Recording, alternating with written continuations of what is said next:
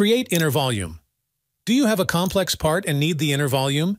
It's easy with the right selection. And with that, welcome to Tips and Tricks on Learn NX. To do this, you combine two selection options. The first option is called Region Faces and selects areas of surfaces. An example, you want to select all faces of this object in order to delete it. By the way, the part is available on learnnx.com. Start the Delete command and select the option Region Faces.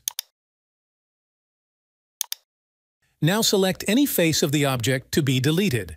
NX will add further neighboring surfaces up to a boundary defined by you. So, select the boundary with the next clicks. In this case, this and that face.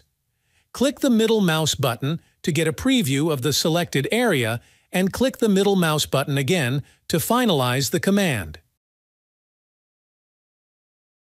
For the inner volume, combine the options Region Faces and All But Selected. In the Selection group, activate the option All But Selected.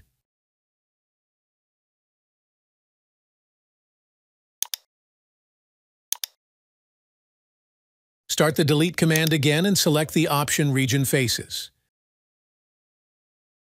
Select any face of the inner area and then the boundary. This would delete the inner area. But if you now click on All But Selected, the outer area is deleted and the inner volume remains.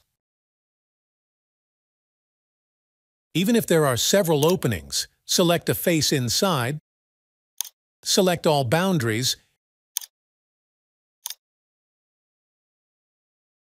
invert the selection, and you're done. And how can I find out the fill level for a specific volume? I'll show you how to do that in the next tips and tricks. Subscribe to Learn NX so you don't miss a video and write in the comments if you would like to suggest a topic.